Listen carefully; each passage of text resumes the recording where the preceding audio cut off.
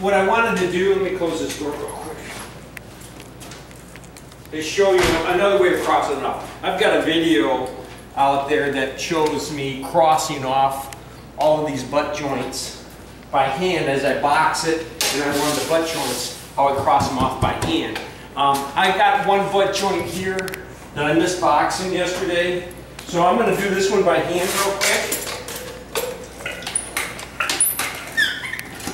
I'm just going to box this one and, and show you how I do this one by hand real quick. And then, and then I'm going to show you how I do these other ones. If I've got, I said it before, if I've got the time, if I've got the time to, to, to run a 10 box and then walk away and come back the next day and cross it off, uh, I love doing that. Absolutely love doing that because because I can do it this way. The reason I'm doing it here is because I knew the massive amount of corner bead that I ran, there's no way it was going to dry. I'm really close to home and I really don't have anything else to do today. So I thought I'd come in here for an hour or two and cross this off today. So that's what I'm going to do. And I get to do it this way now. I like to take my 10 box, I've scraped this down a little bit, but I like to run it right down the center of the butt joints. And that is so flat. This is so flat now. I can take this and I can run it right down the middle, just like this. And I'm gonna have to cross this off a little bit, but that's no, no, it's no big deal.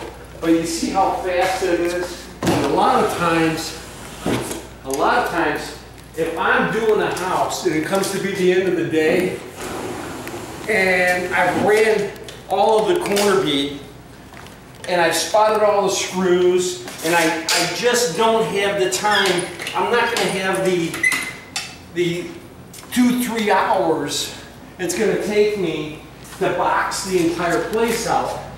But I've got an hour or so. Sometimes I will run through and it's warm enough and I know it's going to dry. I will run through and just box the butt joints. That's it. I'll just split all of the butt joints. Mm, I won't run any of these. I'll just split the butt joints. Then when I come back the next day, I can, I can coat this seam and I can do the center of the butt joints and it's all crossed off with box. I'm not, I'm, it took away a lot of my handwork. And the, and the work I'm doing is all done with the box. Now, this I didn't even scrape off. I didn't even have to. I mean, I didn't, I'm not going to scrape this one. I, I haven't scraped this.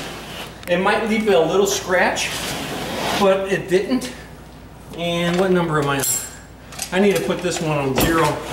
It needs a little bit more mud there. And uh, and this, when you've got a gigantic ceiling with a lot of butt joints, my goodness, this is flat, so flat. And uh, it really works well when I'm able to box the centers. So, all right, that was all I wanted to show you. So if, if you get a chance and you can box the center of your butt joints, by all means do that. Understand, you see this stuff right here? This is all wet still. But when I come back here to skim this on Monday, I am going to take my 12 box right down the middle here of all of these. And I'm going to box right down the middle of these. Then I just have to skim the edges. That's all I have to do. Makes it way quicker. This is seven inches, so the 10 box is too big. I don't want to mess up the blade. I do have a small box I could probably box these out with. But I'm not going to bother. This is just a, you know, my 10 inch knife is going to have no problems coating these out. So I'm not going to have a problem coating these out. But with those, I'll box them. All right. You guys have a great day. Hey, if you really like this video, subscribe. And if you really, really like this video, share it with somebody else. You have a great day.